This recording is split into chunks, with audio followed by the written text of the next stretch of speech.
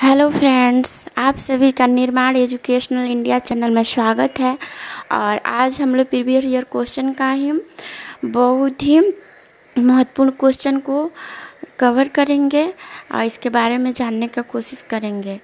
तो आप लोग प्लीज़ पूरा वीडियो देखें और इसका आनंद उठाएँ। और 2021 के लिए तो समझ लीजिए ये क्वेश्चन बहुत ही इम्पोर्टेंट है। इसीलिए ये आज हम लोग जो कवर करेंगे, वो सब्जेक्ट का नाम है knowledge and curriculum course eight है, जिस, जो बहुत ही इम्पोर्टेंट है सभी स्टूडेंट के लिए, जो बी एड सेकेंड ईयर में पढ़ रहे हैं। मानिए जो नहीं पढ़ रहे हैं बी एड सेकेंड ईयर में तो उनके लिए क्या काम है? कोई कम नहीं है। लेकिन जो पढ़ रहे हैं, उनके लिए तो बहुत इंपॉर्टेंट है। तो देखिए क्वेश्चन क्या है? ज्ञान निर्माण की प्रक्रिया का वर्णन करें। देखिए, हम बार बार बोलते हैं, पूछे कोई भी क्वेश्चन लेकिन उसके बारे में थोड़ा प्रस्तावना देना ज़रूरी है। मोस्टली अधिक, अधिकांश लोगों को ये पता होगा कि प्रस्तावना लिखा जाता है। देखिए प्रस्तावना देंगे। ईश्वर प्रदत्त जगत में व्याप्त किसी भी पदार्थ के रूप को देखकर विचारों का उद्भव होता है। देखिए, ये ऐसी मान्यता है आस्तिक लोगों का कि जो संसार है, किसने बनाया है? ईश्वर ने बनाया है। तो यहाँ जो भी चीज़ें हैं, चाहे कोई भी चीज़ है, उसको हम लोग देखते हैं तो उसके बारे में विचार उत्पन्न होता है। क्योंकि हम इंसान हैं चिंतन, मनन, तर्क, वितर्क, ये सब क्या है? हमारा स्वाभाविक गुण है, जो लेके हम जन्म से पैदा होते हैं। इसीलिए किसी भी वस्तु के बारे में विचारों का आना क्या है? स्वाभाविक है। ज्ञान का निर्माण हो देखिए, और आगे पढ़ेंगे, और इन्हीं विचारों के सहयोग से ज्ञान का निर्माण होता है। देखिए, ये सारे जब विचार आते हैं ना तो इन्हीं विचारों के हेल्प से क्या होता है? ज्ञान का निर्माण होता है। ज्ञान का निर्माण सत्य गुण के अत्यधिक प्रभाव से होता है। देखिए, हम सभी जानते हैं हमारे अंदर क्या होता है? सत्य गुण भी होता है, और तमो गुण भी होता है, और रजोगुण भी होता है। ठीक है? ये तीन प्रकार के गुण होते हैं। तो सत्य गुण के अत्यधिक प्रभाव से होता है ज्ञान का निर्माण। सत्य गुण का मतलब होता है सत्य की खोज। सत्य की खोज का मतलब होता है, जैसे हमारे ऋषि मुनियों ने कठिन तपस्या वैराग के द्वारा कठिन से कठिन ज्ञान को प्राप्त की किए थे। जैसे हम लोग वेद ग्रंथ में पढ़ते हैं, वेद मुनि है, विश्वामित्र है, ये लोग क्या थे? बहुत बड़े बड़े ज्ञानी ऋषि मुनि थे।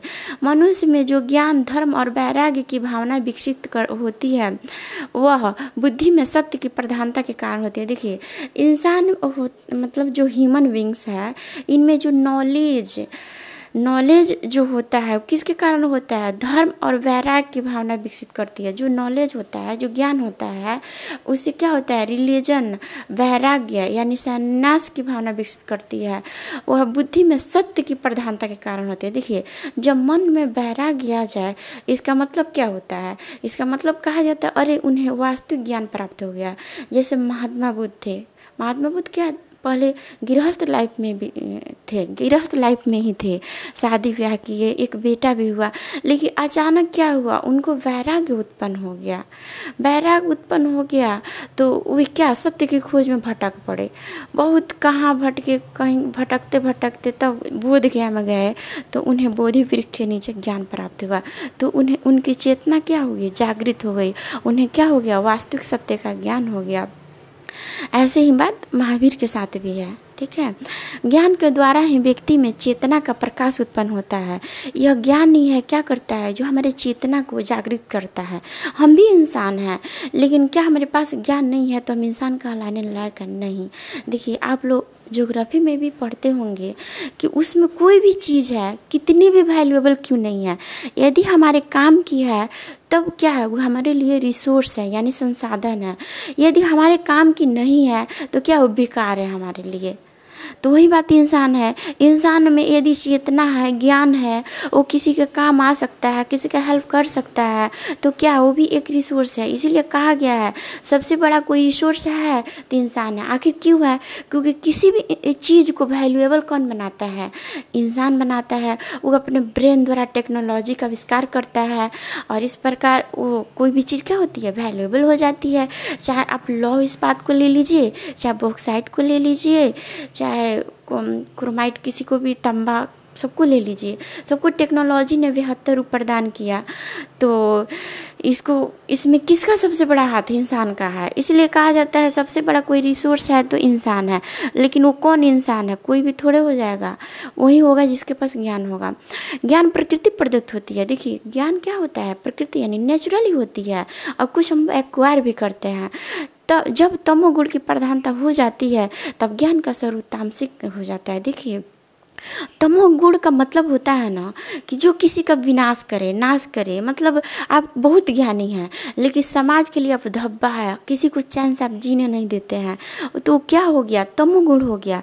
जैसे कंस कंस ज्ञानी नहीं था, क्या रावण ज्ञानी नहीं था, महापंडित था, फिर भी क्या था? दुनिया, समाज, सबके लिए क्या था? कलंक था। तो उसको क्या कहा जाएगा? तामसिक गुण कहा जाएगा। तो तामसिक ज्ञान भी होता है, जो समाज के लिए खतरा होता है। क्या आतंकवादी लोग के पास ज्ञान नहीं होता है। वो भी बहुत ज्ञानी होते हैं, बहुत दिमागी होते हैं, तभी तो उतना बड़े बड़े कांड करते हैं। तो कहने का सेंस है, लेकिन उनके पास क्या है? वो समाज की भलाई के लिए कोई काम नहीं कर रहे हैं। इसीलिए उनका गुण क्या है? तामसिक है।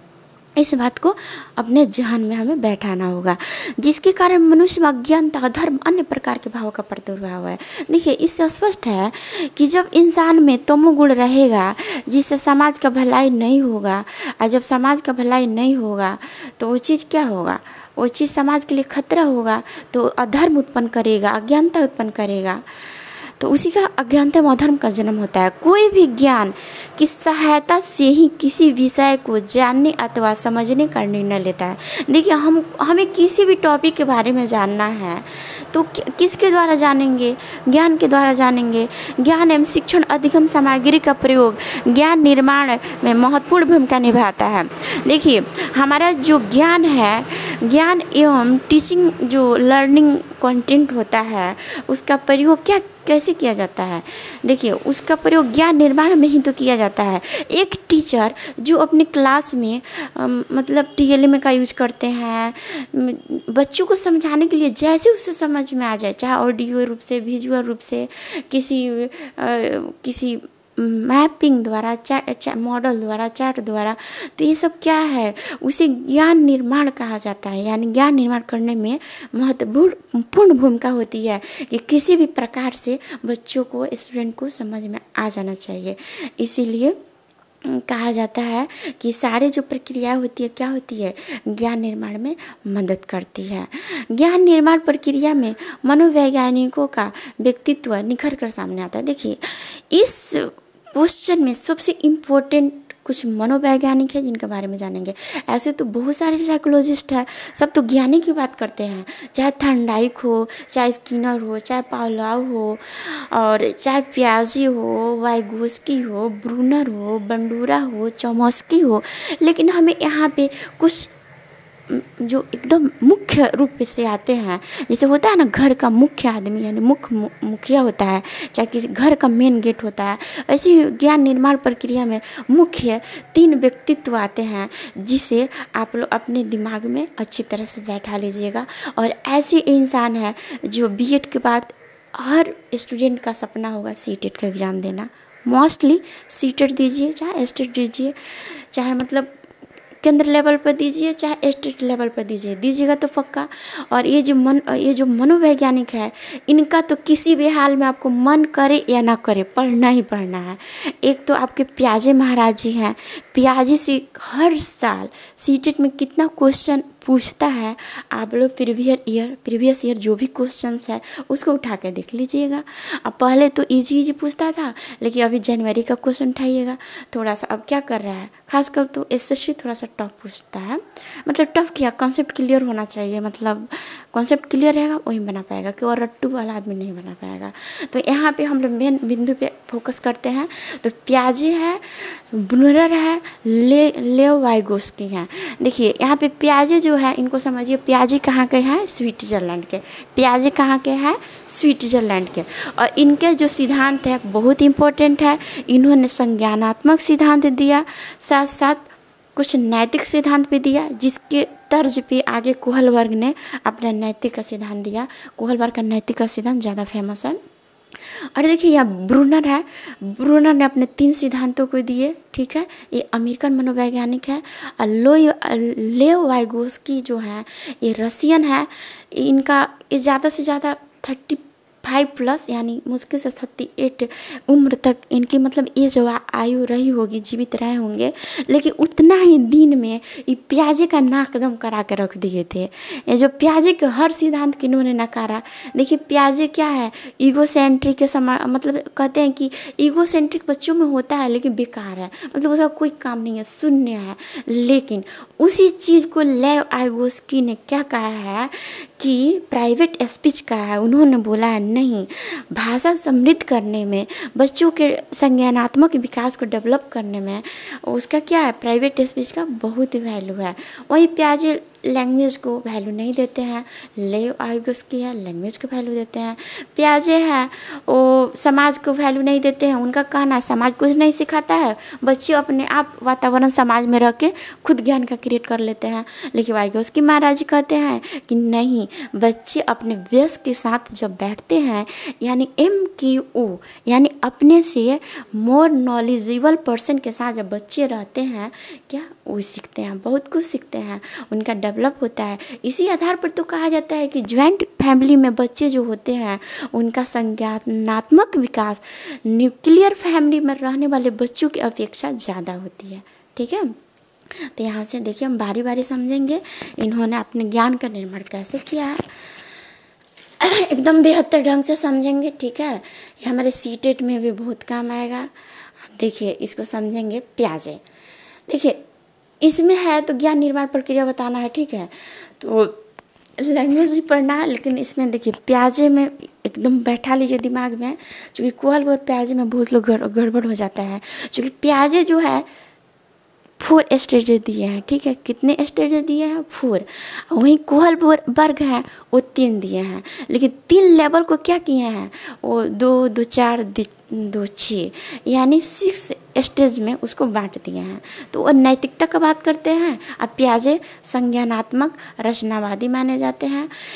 इन, देखिए, इनका कैसे ज्ञान का निर्माण होता है, इनका क्या सिद्धांत है, उसे हम समझेंगे।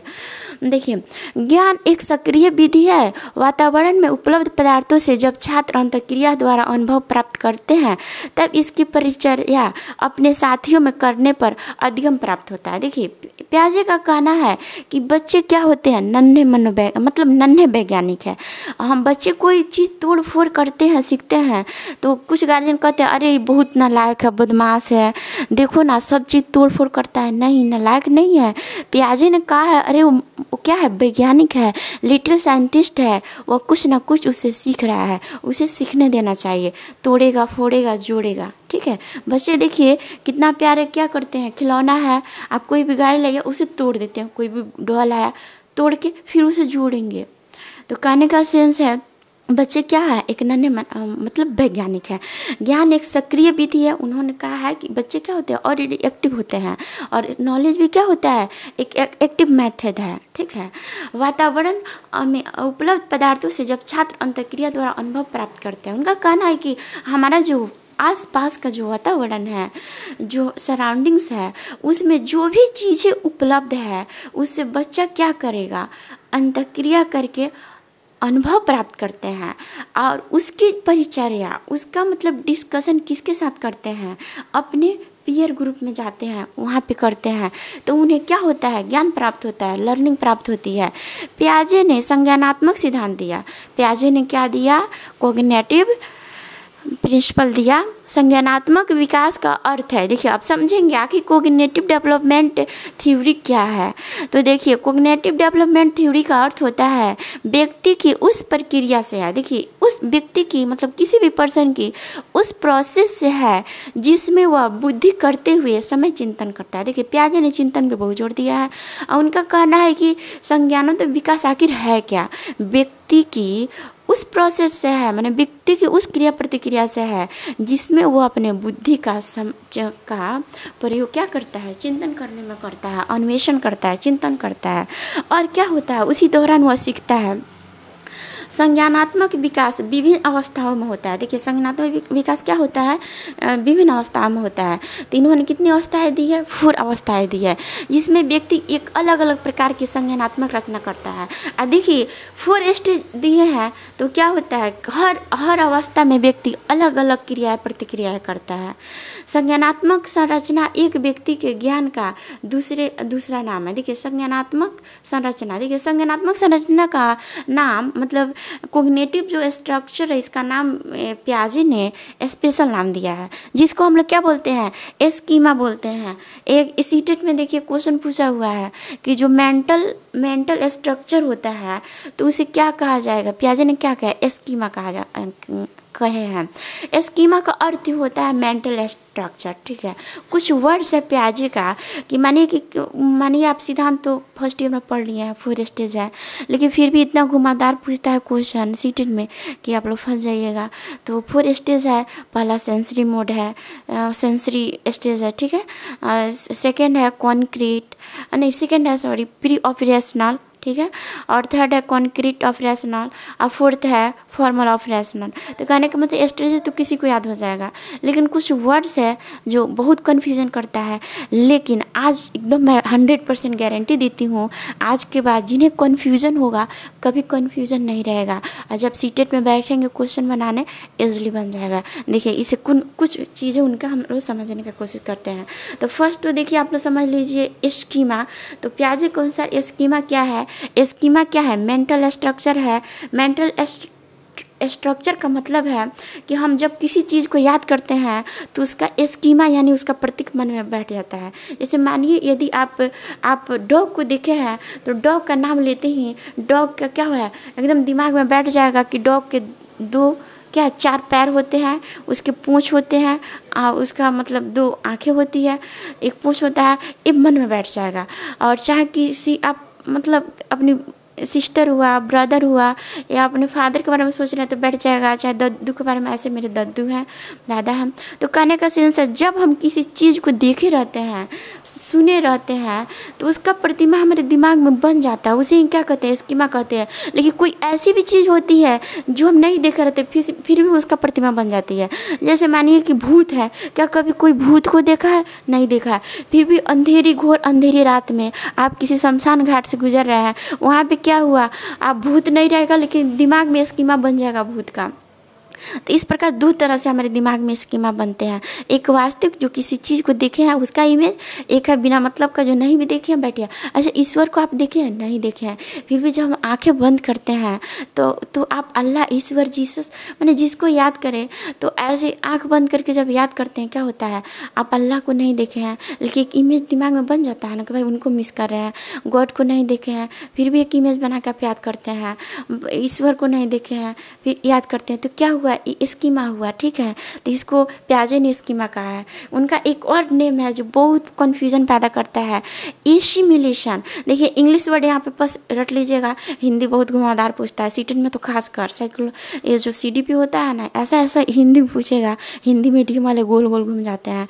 तो हिंदी मीडियम वाले लोग के लिए सबसे बढ़िया रहा है कि कभी भी कोई भी क्वेश्चन बनाइए सी में तो उसका इंग्लिश क्वेश्चन देखा कीजिए, चूँकि सी का नियम है इंग्लिश क्वेश्चन क्वेश्चन के आंसर को ही मान्यता दी जाती है। ठीक है, हिंदी में कभी कभी टाइपिंग गड़बड़ हो जाता है। बहुत है चीज़ों में गलत बच्चे बना के, जानते हो गलत बना के आ जाते हैं। अब सीटेट में बताइए ग्यारह बारह लाख इंडिया के बच्चे मतलब होल इंडिया में इतने बच्चे एग्ज़ाम देते हैं। जिसमें मानिए कि सेकेंड पेपर में एस एस टी वाले दो ही लाख पास होते हैं। वहीं देखिए फ़र्स्ट ईयर में मुश्किल से चार लाख। क्या और बच्चे नहीं पढ़ते हैं? बच्चे सभी पढ़ते हैं। लेकिन हमारे मार्केट में जो गाइड है, क्या करते हैं? जहर उगिल रहा है। उसको जो बच्चा पढ़ेगा, पक्का फेल करेगा, इसमें कोई शक नहीं है। उससे अच्छा प्रीवियस ईयर क्वेश्चन ऑफिशियल जो वेबसाइट है, उस पर जो क्वेश्चन आंसर आता है, उसी को देखिए, एकदम पास कर जाइएगा। टाइम नहीं है तब। टाइम है तो पूरा थ्रोली पढ़ना चाहिए। तो देखिए, इसमें समझेंगे एसिमिलेशन तो यहाँ पे देखिए एसिमिलेशन क्या है? एसिमिलेशन का मतलब होता है, देखिए एकदम साधारण भाषा में समझा रहा है। एसिमिलेशन का मतलब होता है, देखिए, पूर्व ज्ञान जो हम प्राप्त किए हैं, उस ज्ञान में कोई चेंजिंग नहीं करेंगे। उसी को हम आत्मसात कर लेंगे। उसी को हम एसिमिलेशन करते हैं। मानिए, हम देख रहे हैं, जैसे कोई लड़की है, पंद्रह साल की, ठीक है? देख रही है, मेरी मम्मी रोटी पका रही है। अब वो भी नेक्स्ट डे क्या करेगी? रोटी पकाने लगेगी। यानी उन उसने अपने ज्ञान में क्या किया? कोई चेंजिंग नहीं किया। रोटी देख रही है पकाना, रोटी बनाने लगी। तो क्या हो गया? ये एस एसिमिलेशन हो गया। यानी पूर्व ज्ञान में कोई बदलाव नहीं होना। पहले की जो चीज़ देखे है, उसको उसी तरह उसको मतलब धारण कर लेना एसिमिलेशन है। जैसे हुआ कि भाई आ, मम्मी को देखी दाल चावल सब्ज़ी कल खा रही थी और आई गुड़िया वो भी दाल चावल सब्ज़ी खाने लगी थी क्या हो गया? एसिमिलेशन हो गया। यानी कोई ज्ञान में चेंजिंग नहीं है। जो ज्ञान वो प्राप्त की पूर्व में उसी ज्ञान को आत्मसात कर लिया है। तो इसको देखिए एसिमिलेशन है। हमेशा ऐसा सीटेट में क्वेश्चन आता है कि मानिए कि कोई कोई लड़की है दाल कल क्या हुआ? मम्मी को देखी दाल चावल खाते हुए वो भी आके दाल चावल खाने लगी। तो प्याजे कौन सा क्या है? बड़ा क्वेश्चन थोड़ा आता है सीटेट में। तो क्या होगा? एसिमिलेशन होता है, यानी ज्ञान में कोई बदलाव नहीं हो रहा है। जब कोई बदलाव नहीं होगा तो देखिए, एकदम याद रखिएगा एसिमिलेशन होगा। एक देखिए, आता है इकोमोडेशन एक क्या होता है? इकोमोडेशन देखिए इंग्लिश वर्ड याद करना ज़रूरी होता है। इकोमोडेशन का देखिए क्या होता है? इसमें होता है, पूर्व ज्ञान में बदलाव कर लेना।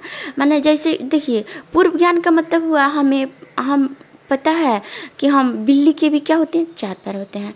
फिर हमको कुत्ता के बारे में नहीं पता है। लेकिन आके देखे, कुत्ता की होता है। अब बच्चा उसी को कहने लगेगा, अरे बिल्ली बिल्ली बिल्ली। तो क्या हो जाएगा? एसिमिलेशन हो जाएगा। लेकिन जब कोई वहाँ व्यक्ति को कहेगा, नहीं नहीं, ये क्या है कुत्ता? है तो समझेगा, अरे, अंतर है। बिल्ली म्याँ म्याँ करती है, कुत्ता भो भो करता है।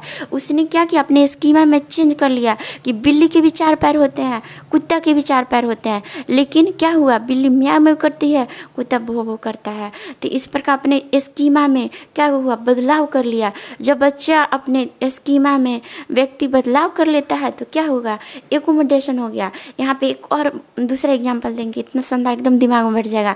मानिए वो लड़की रोटी पकाना देखी, रोटी पकाने लगी। लेकिन उसे एक दिन मन हुआ, क्यों नहीं इसे दूसरा चीज़ बनाया जाए? बस उस पराठा बनाने लगी तेलो लगा के। अब जब पराठा बना दी तो क्या की? रोटी से पराठा में चेंज हो गया। एस्टीमा में क्या हुआ? बदलाव हुआ। तो इसको क्या आप कहेंगे? एकोमोडेशन कहेंगे। हो गया। अब देखिए, ये दो चीज़ें बहुत पूछता है सीटेट में। एसिमिलेशन एकोमोडेशन लेकिन कभी कभार यदि इक्विलिब्रेशन पूछ दिया तो इसे भी देखिए आप लोग समझ लीजिए। इक्विलिब्रेशन का मतलब होता है, देखिए, आपने रोटी बनाना सीखा, रोटी से पराठा बनाना सीखा।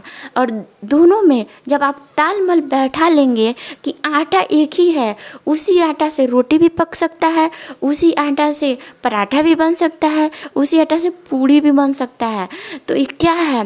ये तालमेल है एडजस्टमेंट है। जब आप तालमेल बैठा लेंगे तो जब हमारे दिमाग में जो असंतुलन पैदा हो रहा है, अरे रोटी भी उसी से पका, उसी से पराठा भी पका, ये जो अनबैलेंस है, जो ये, उसमें जब बैलेंस उत्पन्न हो जाता है, जब हम अपने स्कीमा में बैलेंस कर लेते हैं तो इसे क्या कहते हैं? इक्विलिब्रेशन कहते हैं।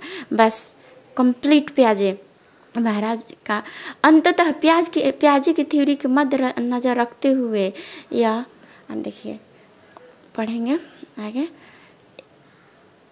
यह कहा जा सकता है कि वैज्ञानिक शिक्षक वैज्ञानिक शिक्षक जब वो चौंकाने वाले प्रयोग प्रदर्शित करते हैं देखिए, अब प्याज के यहाँ क्या है? प्याज के ज्ञान निर्माण की प्रक्रिया का कंक्लूजन किया जा रहा है। और इसमें अब बोला जा रहा है कि अकॉर्डिंग टू प्याज मैंने उनका कहना है, एक जब मनो एक जो वैज्ञानिक है, मैंने साइंस साइंस का जो टीचर है, जब वो कोई काम करेगा क्या? चौंकाने वाला काम करेगा। साइंस क्या करता है? चौंकाने वाला काम करता है। आज हम लोग हवा में उड़ रहे हैं, आज हमारे घर में फ्रिज है, एसी है, सब है, कैसे है? साइंस की वजह से है। तो साइंस क्या करता है? हमेशा चौंकाने वाला काम करता है।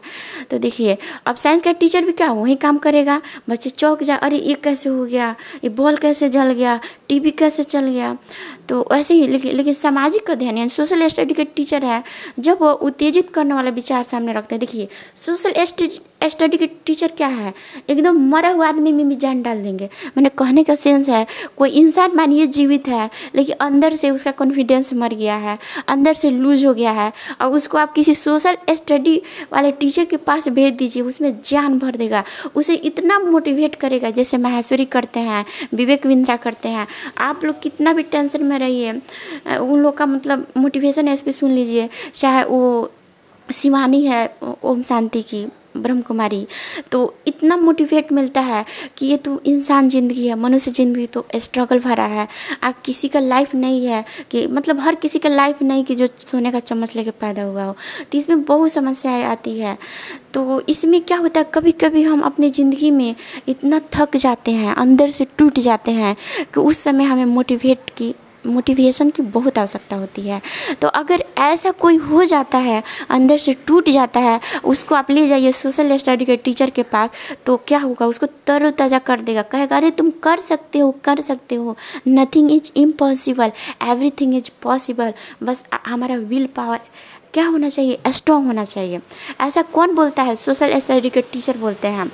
आप देखिए सामने रखते हैं, बालकों के अब देखिए, आगे समझिए उसको। अब आगे क्या है? भूगोल के, देखिए, भूगोल के जो टीचर हैं, जब वो विद्यार्थियों के सामने जाएँगे, नई देशों की खोज की ओर उत्साहित करते हैं तो वो असंतुलन का परिवेश ही करा, करे रहे होते हैं और इस प्रकार विद्यार्थियों के कौतूहल को जागर कर देते हैं। अब देखिए, एक स्टूडेंट है तो उसको देखिए, साइंस का टीचर जा रहा है तो पूरा आश्चर्यचकित करने वाला चीज़ कोई एक्सपेरिमेंट बता रहा है। और वही सोशल स्टडी का मानिए इतिहास का टीचर गया, खूब उसको मोटिवेट किया। अब देखिए, फिर उसके बाद भूगोल का टीचर गया तो क्या क्या? देश, दुनिया। भूगोल में क्या है? देश, दुनिया के बारे में पढ़ना है। उसके बारे में समझाया। अब बच्ची का दिमाग में क्या हो गया? एकदम मतलब दिमाग गोल गोल घूमने लगा। अनबैलेंस उत्पन्न हो गया।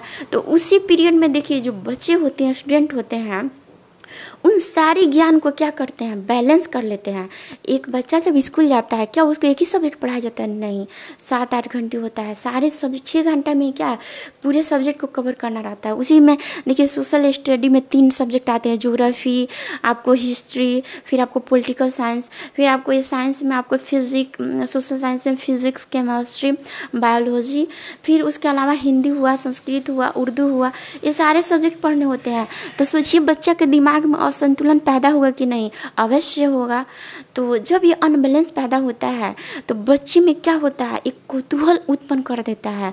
उनमें क्या करता है? जाग, जागृति उत्पन्न कर देता है, बच्चे जागृत हो जाते हैं। और वह क्या करते हैं? जिसके परिणाम स्वरूप वह नई स्कीमा बनाते हैं, जो उनमें अच्छा समझ और नवीन अंतर्दृष्टि उत्पन्न करते हैं। अब बच्चे के दिमाग में जब कौतूहल उत्पन्न होता है तो बच्चे क्या करते हैं? एक नई स्कीमा क्रिएट करते हैं और सारे सब्जेक्ट को क्या एक बैलेंस बना लेते हैं। और जब बैलेंस बना लेंगे, वहीं क्या हो जाएगा? अंतर्दृष्टि उत्पन्न होगा।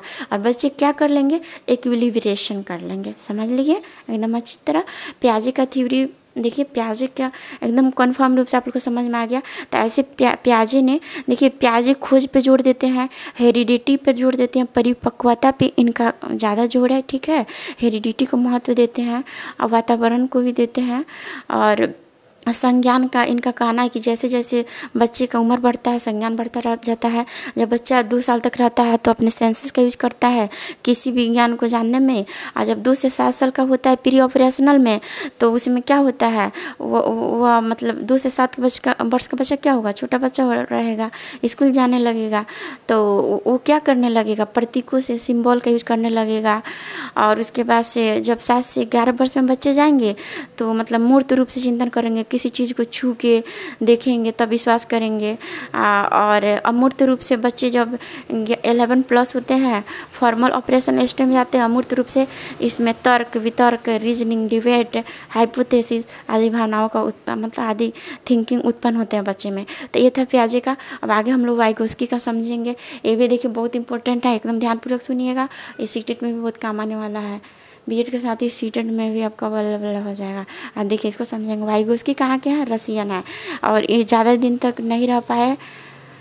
इसी दुनिया में थर्टी प्लस फाइव प्लस यानी थर्टी एट में ही चले गए। लेकिन जितना दिन तक रहे, पूरा इनका प्याज का पूरा मैंने सिद्धांत को कट कट कट कट करते गए। देखिए, लेकिन दोनों अपने जगह पर सही हैं। वाइगोस्की के सिद्धांत को सामाजिक, सांस्कृतिक सिद्धांत कहा जाता है। देखिए वाइगोस्की में तीन चीज़ें हमेशा दिमाग में याद रखिएगा। एस सी एल एस का मतलब सोशल पे जोड़ दिए हैं सी का मतलब कल्चर पे जोड़ दिए हैं कल्चर की बातें करते हैं एल पे लैंग्वेज मतलब तीन चीज़ें इनके सिद्धांत में बहुत इंपॉर्टेंट है। यदि क्वेश्चन में आ गया, सीटेट में भी, कि सामाजिक, सांस्कृतिक लैंग्वेज कि को किसने सबसे ज़्यादा वैल्यू दिया है तो हमारे वाइगोस्की जी ने दिया है। वाइगोस्की के सिद्धांत को सामाजिक, सांस्कृतिक सिद्धांत भी कहा जाता है। ये भी संज्ञानवादी हैं, ये भी रचनावादी हैं, प्याजे की तरह। वाइगोस्की भले ही थर्टी फाइव प्लस कम उम्र तक ही जीवित रहे, मगर उतना ही दिन में प्याजे का नाकदम करा दिए तो हम बता ही चुके हैं। उनके हर एक सिद्धांत को नाक हर एक सिद्धांत को नकारा और अपना प्रमाण भी दिए। देखिए, केवल नहीं बोल दिए कि भाई ऐसे दिए हैं। उन्होंने सत्यता के साथ अपने सिद्धांत को प्रमाणित भी किया। अब देखिए, ये वाइगोस्की हैं, इनमें दो बातें बहुत ज़्यादा इम्पोर्टेंट है। एक तो देखिए जीएडीपी जीएडीपी देखिए, अधिकांश बच्चे को समझ में नहीं आता है जीडीपी क्या है, इसके फोल्डिंग क्या है। देखिए, यहाँ समझाएँगे, इसके फोल्डिंग जो है वाइगोस्की का सिद्धांत नहीं है। इसको फोल्डिंग इसके फोल्डिंग का बात मतलब इसके फोल्डिंग का मतलब पहले समझिए। इसको फोल्डिंग का मतलब होता है टेम्पोररी हेल्प यानी क्षणिक हेल्प क्षणिक का हेल्प मतलब देखिए, एक एक बच्ची है गुड़ी गुड़िया का जैसे मानिए कि दो पैर है, दो हाथ है, दो दो पैर तो जोड़ती, दो हाथ उसको जोड़ने नहीं आ रहा है। तो क्या कि कुछ मेहनत की ना? मैंने आधा तो मेहनत खुद की, आधा बाकी रह गया। तो उसको कौन समझाएगा? उससे जो नॉलेजेबल हुआ ना, यानी एम की वो मोर नॉलेजेबल पर्सन उसको समझाएगा। तो मानिए को, कोई व्यस्क उसको हेल्प कर दे रहा है तो दो दो हाथ पे जोड़ ले रही है। तो क्या हो गया? जो हेल्प किया गया वो इसके फोल्डिंग कहलाएगा, और जो क्षेत्र था जहाँ वो अटकी है, उस एरिया को हम लोग क्या करेंगे, कहेंगे? जेडीपी कहेंगे। जेडीपी क्या होता है? जो बच्चा जो अपना मतलब जहाँ अटका है तो अटका है, वहाँ से कोई हाथ पकड़ के उसको मैंने समझा के उसको आगे कर दिया। तो जे टी पी क्षेत्र कहलाता है, मानिए, बच्चा है, साइकिल कैसे कैसे चला रहा है, नहीं आएगा। लेकिन वही कोई उसको पकड़ लिया, साइकिल चलाने आ गया, टेम्प्रेरी हेल्प कर लिया। तो क्या हो गया? जे डी पी क्षेत्र हो गया, जो हेल्प किया एस्को फोल्डिंग किया। देखिए एस्को फोल्डिंग की बात सबसे पहले किसने की थी? इसका, इस शब्द का देने का श्रेय ब्रूनर को जाता है, ठीक है? लेकिन इसका एक्सपेरिमेंट, इसका प्रयोग किसने किया? वाइगोस की किया। इस बात को जहन में हमेशा बैठा लीजिएगा। तो देखिए, यहाँ जे डी पी है जे डी पी को समझेंगे। इसका फुल फॉर्म क्या होता है? जोन प्रोक्सिम प्रोक्सीमल डेवलपमेंट क्या होगा? जोन प्रोक्सीमल डेवलपमेंट यहाँ पे देखिए हम लोग समझेंगे, यहाँ पे समझेंगे, देखिए जो यहाँ पे मतलब कोई बच्ची है तो बच्ची है तो मानिए कि यहाँ पे जो गोल, यहाँ पे गोलाकार बनाया है तो इसमें जहाँ तक फूल है, माने भरा गया है तो क्या है? वो वो बच्ची क्या क्या किया? है वो बच्ची इतना दूर को, मानिए कि इतना दूर खुद खुद कोई काम किया, ठीक है? और इतना दूर बाकी जो क्षेत्र है तो बाकी क्षेत्र में कोई व्यक्ति मोर नॉलेजेबल उसको हेल्प किया है तो जो हेल्प करेगा, उसको क्या कहा जाएगा? इसको इसको फोल्डिंग कहा जाएगा। और जो खाली क्षेत्र है, यानी जो इसके बीच और इसके बीच का जो लाइन का अंतर है, मैंने उसके, जो खुद मेहनत की है वो जिस लक्ष्य तक उसको जाना है तो उसके बीच का जो अंतर है तो उसको क्या कहेंगे? जेडीपी कहेंगे। क्या कहेंगे? जेडीपी कहेंगे। अभी से हम लोग समझ गए। अब आगे हम लोग समझने का कोशिश करेंगे। अब देखिए, ये वाइगोस्की का हो गया? देखिए, वाई वाइगोस्की में आप लोग बस दिमाग में डाल लीजिए कि वाइगोस्की सामाजिक संस्कृति की बात करते हैं और इन्होंने जीडीपी सिद्धांत दिया। उसको लिख दीजिएगा, फिर एस्को फोल्डिंग का प्रयोग किया जो ब्रूनर का सिद्धांत अब देखिए, ज्ञान निर्माण प्रक्रिया में थर्ड नंबर हम लोग समझेंगे। थर्ड नंबर है ब्रूनर। देखिए ब्रूनर को ब्रूनर का पूरा नाम है जेरोम ब्रूनर। ये कहाँ के थे? अमेरिका अमेरिका के हैं। इनको भी संज्ञानवादी कहा जाता है, रचनावादी भी कहा जाता है ये श्वेता श्वेतावादी भी है। यानी ये स्वतंत्रता पर बहुत ज़्यादा बोल देते हैं। इनके सिद्धांत को क्या कहा जाता है? संरचनात्मक अधिगम सिद्धांत भी कहा जाता है। देखिए, इनका थ्री मॉडल है। देखिए साइकोलॉजी जो नाम होता है ना, बहुत टफ होता है। इंग्लिश वर्ड एकदम दिमाग में बैठा लीजिए। तो इनका थ्री थ्योरी है। इनका थ्री थ्योरी क्या क्या है? इंटैक्टिव देखिए, बहुत आसान में लिखे हैं ब्रूनर का, ठीक है? इंटैक्टिव आइकोनिक सिम्बॉलिक क्या है? Interactive iconic symbolic interactive iconic symbolic interactive का मतलब होता है छोटा बच्चा, यानी लगभग तीन साल तक। उस समय का बच्चा क्या होता है? गुड़िया में ही क्या जीवंत जीवात समझता है कि उसमें जीवन है। देखते हैं, छोटी बच्ची गुड़िया सुलाती है, अरे मेरी गुड़िया को, गुड़िया सो रही है, हल्ला मत करो। ऐसे बोलती है ना? चाहे मम्मी से बोलती है, माँ, मेरी मेरी गुड़िया को कुछ खिला दो ना, भूख लगी। तो क्या है जीववाद है? जीवाद का मतलब होता है निर्जीव चीज़ में ही जीवा दिखना। चाहे छोटे बच्चे हैं, बच्चा है, देखा दद्दू पापा क्या कर रहे हैं? से ड्राइविंग कर रहा है। बस वो भी ऐसे ऐसे करने लगा, यानी ये नकल करने लगा तो क्या है? ये सब आता है इसमें इनएक्टिव में आता है। इस समय बच्चे क्या करते हैं? खेलते हैं, चाहे बुक से खेले, चाहे किसी चीज़ से खेले। तो एक्शन बेस्ट यानी देखते हैं, तीन साल तक का बच्चा कैसे रहता है? हमेशा उसका कभी शरीर मतलब अस्थिर नहीं रहेगा। हमेशा कुछ ना कुछ कुछ ना कुछ एक्शन करते रहेगा। तो एक्शन बेस्ट को क्या कहता है? इनएक्टिव कहा जाता है। इसमें बच्चे एक्टिव रहते हैं। एक्टिव क्या बहुत ही एक्टिव रहता है। अब देखिए आइकोनिक सेकंड में क्या होता है? आइकोनिक आइकोनिक कहा जाता है सेवन सेवन तक। सेवन तक क्या आता है? आइकोनिक आता है। सेवन प्लस तक, आयु तक।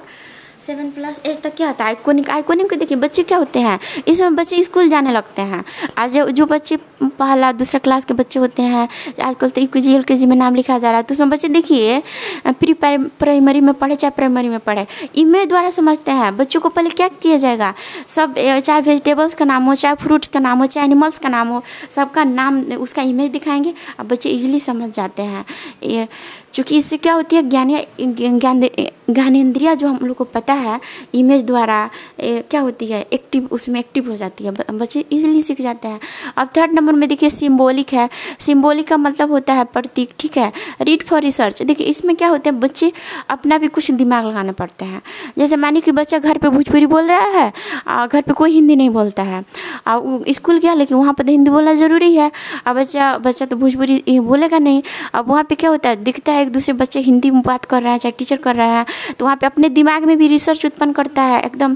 जैसे ग्रामीण इलाकों में देखिए लैंग्वेज में थोड़ा सा बच्चे कमज़ोर होते हैं और वो हिंदी उन्हें नहीं आती है, फिर भी क्या करेंगे? स्कूल में जाएँगे तो उल्टा पुल्टा कुछ ना कुछ अपने दिमाग में रिसर्च करके भोजपुरी कुछ हिंदी में ला बात करने लगते हैं। वहीं बड़े हो जाते हैं तो बोलने लगते हैं। तो क्या हो गया? रीड फॉर रिसर्च यानी बच्चे क्या करते हैं? लैंग्वेज बेस्ट हो जाते हैं। हर चीज़ में क्या करते हैं? अपने भाषा का यूज़ करने लगते हैं। देखिए तो ब्रूनर के जो सिद्धांत है, इनमें तीन चीज़ें बहुत इंपॉर्टेंट है। इनएक्टिव यानी एक्शन बेस्ट काम करेंगे बच्चे। आइकोनिक यानी पिक्चर द्वारा बच्चे समझेंगे। और थर्ड सिम्बॉलिक है, जो लैंग्वेज बेस्ट काम करेंगे लैंग्वेज का उपयोग करेंगे। ये बहुत ज़्यादा इम्पोर्टेंट ये भी है, लेकिन इनका एक सिद्धांत है जो बहुत इंपॉर्टेंट है चूँकि वो पाठ्यचर्या से संबंधित इन्होंने स्पाइरल करिकुलम दिया। क्या दिया? स्पाइरल करिकुलम का बात करते हैं। देखिए स्पाइरल करिकुलम का मतलब क्या हुआ? है गूथा हुआ। एक दूसरे से गूथा हुआ। मतलब गूथा हुआ का मतलब होता है माला गूथा हुआ है। एक भी मोती तोड़ दीजिएगा एक जगह से, सारा माता माला गिर जाएगा। एक कॉपी भी आता है गूथा हुआ। आप सोचिएगा, आधा निकाल देता, आधा बेकार नहीं हो जाएगा। तो इसको स्पाइरल होता है मैंने एक दूसरे से जुड़ा हुआ। यानी कहीं से इसको अलग नहीं कर सकते। हैं हैं। तो इनका देखिए, आखिर इसको स्पायरल करिकुलम क्यों कहा जाता है? इसको स्पायरल करिकुलम इसीलिए कहा जाता है ना कि कोई भी टीचर है जो क्लास में पढ़ा रहा है तो जैसे मानिए कि अगर अगर हिस्ट्री पढ़ा रहा है तो अगर सिक्स क्लास में मानिए कि एट चैप्टर है, एक बात कर रहे हैं एट अध्याय है तो अगर वो सोचेगा कि हम फ़र्स्ट फाइव छोड़ दें, एकदम लास्ट एट चैप्टर में चले जाए तो क्या होगा? बच्चों को दिक्कत होगा, नहीं समझ आएगा। क्योंकि एक दूसरे से रिलेटेड करके इंटीग्रेटेड रहते हैं, और उस उससे सारे सब्जेक्ट मतलब सारे चैप्टर्स रहते हैं। तो इसलिए क्या कहा जाता है? बच्चों को शुरू से पढ़ाया जाता है। उसमें लिखा भी जाता है कि, देखिए, अगले सब, अगले अध्याय चैप्टर में लिखा रहता है कि आपने आपने पिछले अध्याय में ये पढ़ा होगा। आखिर ऐसा क्यों लिखा जाता है? क्योंकि ऐसा लिखा रहता है कि, भाई, पीछे आप ये पढ़ लिए हैं तो आगे वाला जो चैप्टर है, उसको पढ़ने में आपको परेशानी नहीं होगी। अच्छा एक एकदम नॉर्मल एग्जांपल देते हैं। मानिए बचपन में हम क्या पढ़े रहते हैं? टेबल कोई बच्चा मतलब पहला क्लास में टेबल पढ़ा है। तो आगे क्लास में जो एम की वो कोई मोर नॉलेजेबल पर्सन आएगा, बोलेगा, नहीं यार, क्या रट रहा है टेबल? इसको हम समझा रहे हैं, ऐसे जोड़ करके का, ऐसे मल्टीप्लाई करके तुम्हारा टेबल ईजिली आ जाएगा। लेकिन जब देखिए वो बच्चा डिवाइड डिवीज़न करता है या मल्टीप्लाई करता है, क्या उसमें धीरे धीरे जोड़ता रहेगा? नहीं। अगर उसे ट्वेंटी तक कम से कम टेबल याद है तो मानिए कि ट्वेल्व टूजा लिखना है, क्या ट्वेल्व ट्वेल्व जोड़ने जाएगा? नहीं। सीधे क्या लिख देगा? ट्वेंटी फोर लिख देगा। तो इस प्रकार क्या है? पूर्व ज्ञान के आधार पर वर्तमान ज्ञान का निर्माण करने वाले सभी चैप्टर एक दूसरे से संबंधित होते हैं। तो यहाँ पे क्या हो रहा है? पूर्व ज्ञान के आधार पे ही नए ज्ञान का निर्माण हो रहा है। इसको क्या कहते हैं? Spiral curriculum. कहते हैं। देखिए, इनका सबसे इम्पोर्टेंट देखिए, फिर आ गया एस एस्केप फोल्डिंग जिसका हम लोग बात कर चुके हैं। देखिए, इसको, इसमें थोड़ा सा है। सर्वप्रथम एस्केप फोल्डिंग को देखिए एस के फोल्डिंग को देखिए हिंदी में मचान कहा जाता है पड़ाव भी कहा जाता है। कि बात ब्रुनर ने की थी। देखिए, सर्वप्रथम इसका श्रेय दिया जाता है इस वर्ड को, कहने का इसके फोल्डिंग ब्रुनर को। लेकिन, आगे इसका प्रयोग किसने किया? वाइगोस्की ने किया। इसका एक्सपेरिमेंट किसने किया? वाइगोस्की ने किया। तो इसे हम लोग समझ गए। अब देखिए आगे समझेंगे?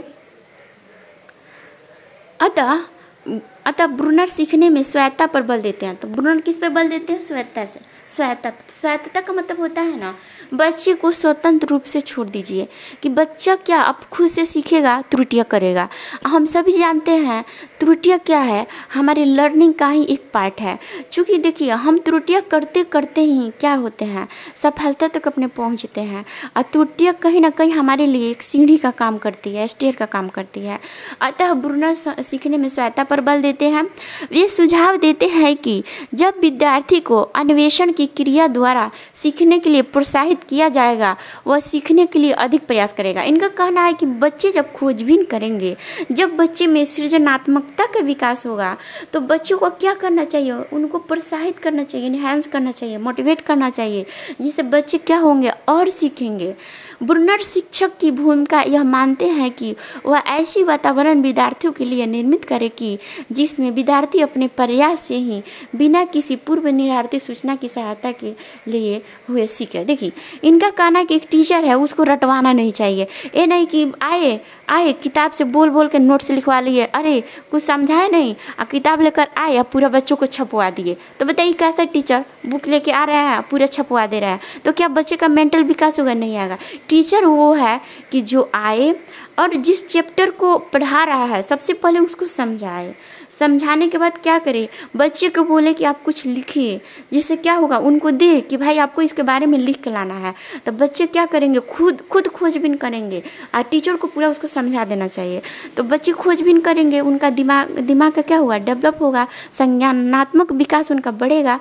और फिर अगर बच्चे गलती सही कर रहे हैं तो उस, उसका मेन मेन जो टॉपिक है बोर्ड पे बच्चों को समझा देना चाहिए। ऐसे भी कहा जाता है कि देखिए, जो नहीं जानते हैं, जान लीजिए। पूछा जाता है कि जो टीचर होता है, उसका साथी कौन होता है? ब्लैक बोर्ड होता है। किसी भी चीज़ को ब्लैक बोर्ड पढ़ना समझाता है। तो इसीलिए उसका वास्तविक फ्रेंड कौन हो गया? पहले ब्लैक बोर्ड हुआ। उसके बाद बुक एनीथिंग हुआ। ठीक है?